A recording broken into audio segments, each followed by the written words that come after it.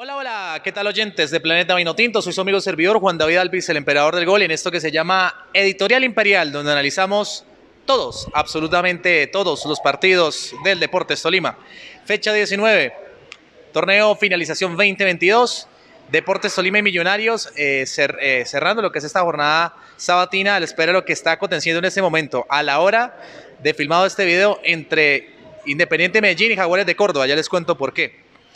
Un partido para Deportes Tolima que en el papel se, le pintaba un poco escabroso, especialmente por el juego que vino a ser Millonarios. Posesión, salida permanente de sus extremos, especialmente ese uno contra uno que tuvieron Junior Hernández y Juber Mosquera en el segundo tiempo, Carlos Gómez y, y el propio Junior Hernández, lo cual hizo que se centralizara la propuesta y primordialmente se tuviera que resolver ya sea por error del visitante o acierto local. En este caso se terminó desequilibrando precisamente en una acción de pelota quieta, un centro que parecía no tener ningún problema tras un tiro de esquina de, de Joan Orozco y termina cabeceando, eh, se termina rematando, perdón, por el segundo palo Rodrigo Ureña, con el condimento, el plus, que la jugada participó Daniel Cataño, básicamente porque Rodrigo Ureña desplaza con el volumen de su cuerpo a, a su excompañero en el Deportes Tolima y hace que le quede la posición, el remate pleno a quemarropa, se lo mandó a Álvaro Montero y con el desvío pues obviamente la terminó mandando adentro para el único tanto de la noche. Los puntos altos en el Deportes Tolima, ¿cuáles son los puntos altos? Básicamente Rodrigo Ureña, Andrés Ibarwen, quien es el eje en el medio campo del Vinotinto y Oro, eh, el partido que se hizo Junior Hernández 10 de 10, al igual que el que realizó eh, Brian Rovira, quien es sin lugar a dudas uno de los líderes futbolísticos y espirituales del Deportes Tolima. Por otro lado, la mejoría del equipo, tres victorias en línea, por primera vez en el campeonato, y empieza a retomar ese fondo, esa perspectiva de cara a la reclasificación, porque recordemos que en este momento Deportes Tolima le sacó cuatro puntos con la victoria de hoy al cuadro de Millonarios y está en este momento disputando el ingreso por reclasificación al cupo de la Copa Libertadores. Recordemos que ya Nacional está en ese torneo continental. Millonarios puede ingresar a reclasificación de tres formas.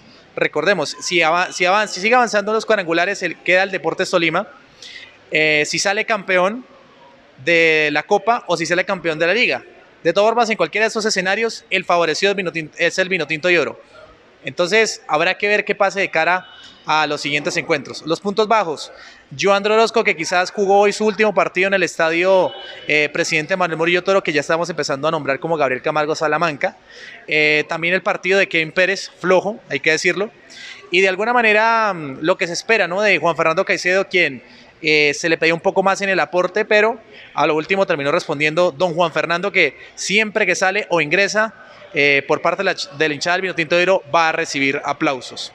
Señores, Mirando la tabla en estos momentos, el único resultado o los únicos resultados que le pueden favorecer al Deportes Tolima es que las siguientes fechas no sumen ni Medellín, ni Nacional, ni el cuadro del Deportivo Pereira.